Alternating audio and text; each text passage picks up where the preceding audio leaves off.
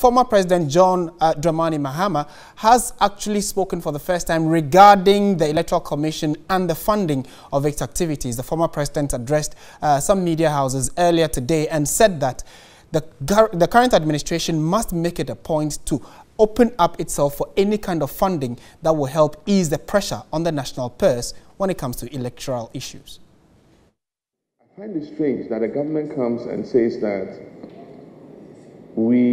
don't want any foreign funding for our elections. The government has said it. They say they're going to finance the elections themselves. And these are even years where we were getting foreign financing for some parts of the election expenditure.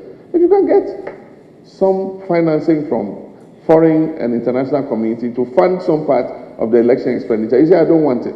I don't know what thinking has gone into that. Who doesn't take free money? It says, oh, we'll pay for the biometric uh, uh, machines, or we'll pay for this part, or we'll pay for trading.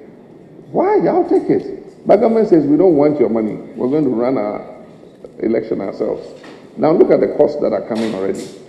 It says new register, already 400 and something million. That is to change the data center, put the new equipment and all that. But that is not all the expenditure. Then now you have to train the officers who are going into the field. You have to deploy them to go and capture the uh, registration of Ghanaians, that is bringing the cost to about 800 and something million, almost a billion uh, uh, Ghana cedis. Why would you do this to yourself? And you say, oh, we don't want any foreign uh, financing. That is what this government has gotten itself into. And already the IMF is saying that your possible end of year budget is going to end at 7%. If you add all this additional expenditure, and Electoral Commission hasn't finished yet. This is just the registration. After that, there are all kinds of other expenses including election day expenses and all that. And so it is obvious that we probably would have an overrun.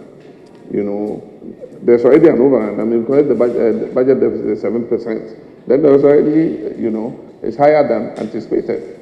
And so if you add election year expenses, then that would be a problem. But we need to keep fiscal dis uh, discipline, whether in election year or out of election year. And the way you can do it is if you can get help from people and they say we will help you to do training of your electoral officers, why not? I'll take it.